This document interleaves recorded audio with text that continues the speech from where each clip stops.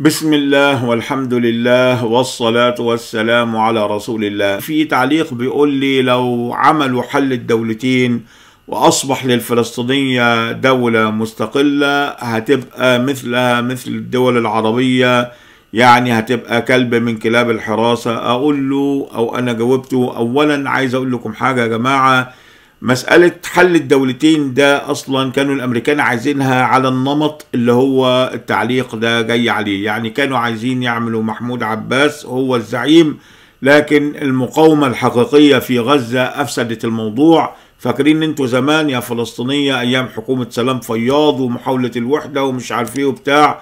طبعا كانوا عايزين عباس يركع المقاومة ما قدرش عباس وكده.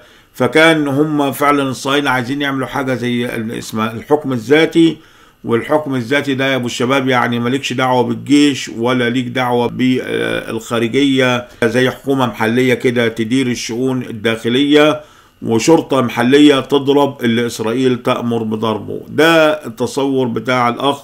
أنا أقول لك المقاومة أفسدت الموضوع ده والمقاومة اللي أفسدت الموضوع ده مش هترجع تقبل بيه الوقت بعد حل الدولتين. مسألة مش منطقية.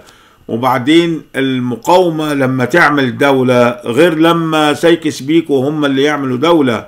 يعني سايكس بيكو لما عملوا دول في الحقيقة هي مش دول. في الحقيقة هي كلاب حراسة عصابات من كلاب الحراسة تنهش الناس وتضربهم وتحبسهم يعني حراس سجن. وكلاب حراسة ما همش دول دي حقيقتهم. لكن المقاومة لما تكون الإدارة مخلصة والمقاومة مخلصة وتعمل دولة هتعمل دولة حقيقية. لا سيما إن الصراع العالمي الوقتي بيخدم الفلسطينية وبيخدم المسلمين بشكل عام. حبيت بس انوه إلى هذه النقطة وجزاكم الله خيرا. والسلام عليكم.